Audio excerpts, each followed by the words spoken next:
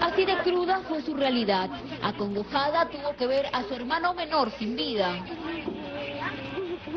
Gabino Chicya Vargas era cobrador de combi. Recién había empezado su jornada cuando se le atravesó la desgracia.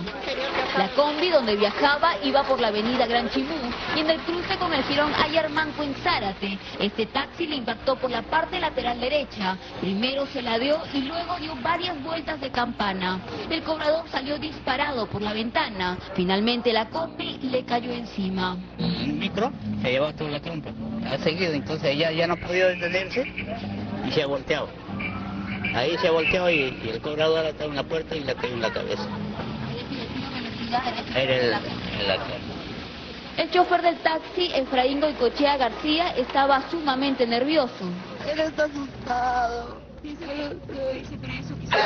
Él está sano, él está borracho.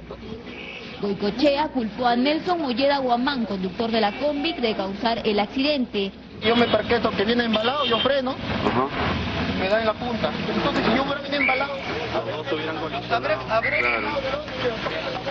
No hay nada. una huella. Compañeros de trabajo de Molleda negaron los cargos. No, ha sido la culpa del carro, me está diciendo. Yo ahorita estoy yendo por la comisaría. Sí, sí, la- ¿Qué ha comentado él que ha sido la culpa del, de esto. Recién no lo he podido, está detenido en la comisaría. Siete pasajeros de la combi y uno del taxi resultaron heridos. Ellos fueron llevados a la clínica San Juan Bautista.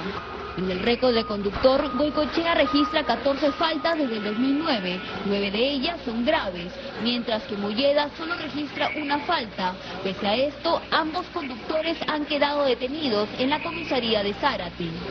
Chicya era el menor de seis hermanos. Soñaba con tener su vehículo y trabajarlo. Mi hermano le ha ayudado a trabajar. Él mantenía la familia prácticamente. Sus familiares esperan que su muerte no quede impune.